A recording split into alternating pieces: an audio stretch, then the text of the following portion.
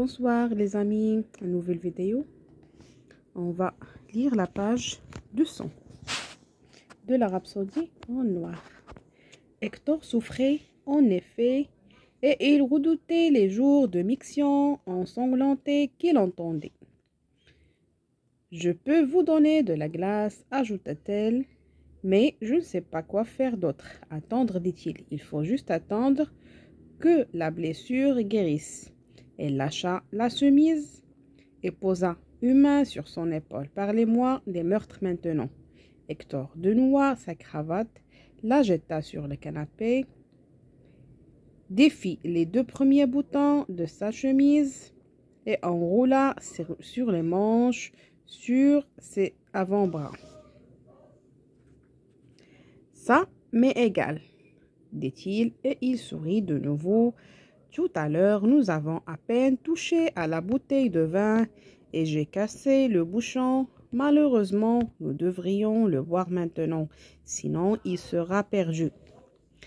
Un peu de vin, oui, ce serait bien. Acquisa-t-il, j'ai aussi du fromage. Occupez-vous de ça, moi je sers le vin. Il retira ses chaussures et la suivit jusqu'à la cuisine.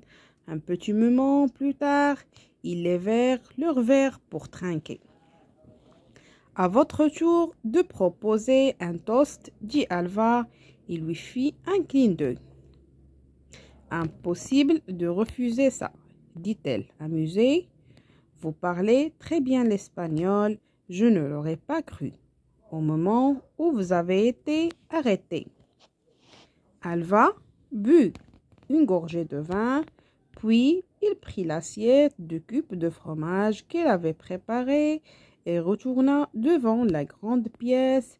Il la suivit. Mettez donc de la musique. Si vous voulez, dit-elle en s'essayant sur le canapé, un disque pas trop bruyant les parquets sont épais, mais il y a les voisins. Est-ce qu'ils risquent de penser? Hector frissonna tout à coup légèrement, mais il ne savait pas très bien ce qu'il approuvait.